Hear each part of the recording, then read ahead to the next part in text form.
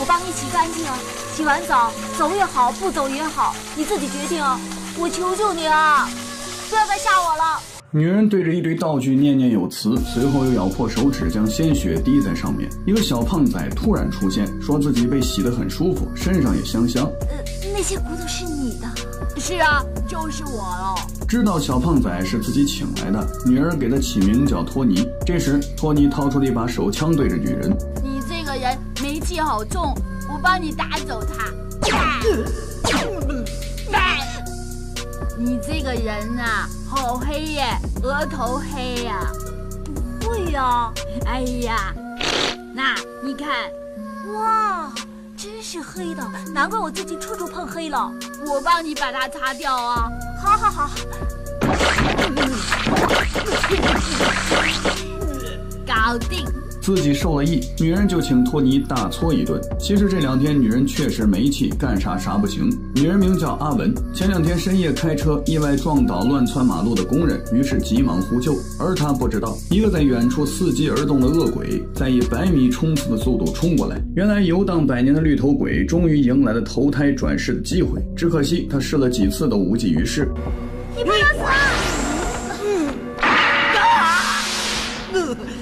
因为阿文的符咒，绿头鬼错失了投胎的机会，变成了恶鬼。气愤之下，恶鬼开始对他疯狂诅咒：“你这个臭三八，害得我投不了胎，鬼的诅咒可不是随便说说。第二天，阿文就成了全天下最倒霉的女人。早上开车上班，往后视镜那么一瞅，竟然发现一个男人，这吓得他瞳孔睁大。等他回头再看的时候，空无一人。此时，秘书打来电话说股市大跌，当初投的几千万现在全部打了水漂。听到这些，哪还顾得上其他？立刻调转车头就赶往公司。由于太慌张，阿文下车忘记拔掉钥匙，然而车子却自己神奇的开走了。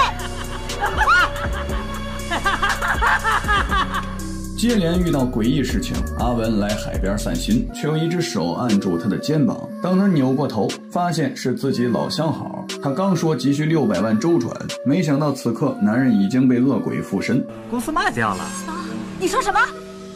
你卖了我们的公司？为什么？为什么不跟我商量？公司是我的名，我当然可以卖了。还有啊，我还要告诉你，明天呢，我要和伊娃结婚了，然后移民去美国。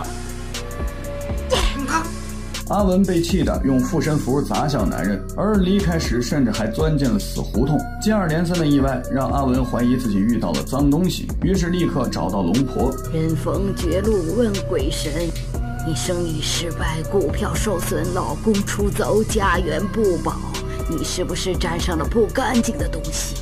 龙婆，求求你帮帮我好吗？这两天的经历宛如噩梦，阿文不惜一切代价要将恶鬼驱散。于是龙婆给他请来了财运童子消灾解难，不过就是需要给道具洗干净开光，然后滴上鲜血，这样才能正式开始。当天晚上，阿文就收到龙婆的快递。后面发生的事情大家都知道，托尼就是财运童子，被阿文用大餐招待。想到自己即将倒闭的公司，阿文向托尼提出，公司要正常运营需要五千万，五千万不好。一亿够了吧？一开口就是一个小目标，不愧是财大气粗的财运童子。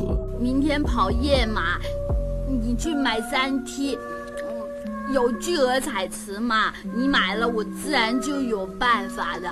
真的？嗯，巨额彩池有三亿，你只有一亿啊。三个亿能拿到一个亿已经很厉害了。阿文对托尼言听计从，大半夜的也要陪着他玩小游戏。托尼言出必行，直接让他赚了一个亿。而为了感谢龙婆，阿文掏出一百万送给龙婆。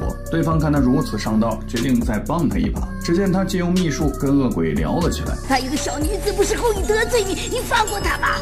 她破坏我借尸还魂，我不会放过她的。Why？No reason。夜了。No。夜了。夜了。You shut up。谈判破裂，发生什么事了？天机不可泄露。那这里有一道符，你拿去贴起来。只给我一道符就够了。楼下有彩色影印机，你尽量 copy 印多一点。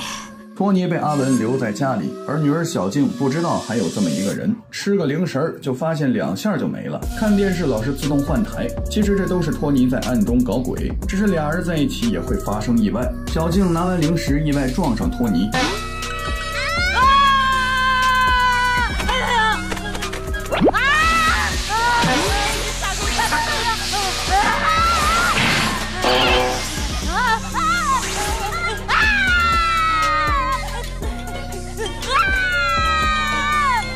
谁看了不迷糊？何况是小女孩。大胖子再偷吃我的东西，他他还会穿墙走壁，我我走到哪都能看到他。阿文将托尼喊了出来，说：“这个哥哥是自己喊来陪他的。”没过多长时间，恶鬼突然出现，托尼挺身而出，两人大战八十一回，托尼败下阵来。他让阿文带着小静离开，但在得到小静香吻以后，武力爆表，一下两下直接将恶鬼打得魂飞魄散。困难解决了，但小静却昏了过去。托尼推测女孩没了阳气，随后阿文只能带着她去找龙婆救助。如果我有事，一定有事的话。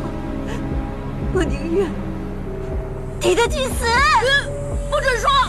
啊！话音刚落下，车子就意外撞上水泥柱，阿文当场丧命。小静是安然无恙了，可阿文与托尼却魂飞魄散了。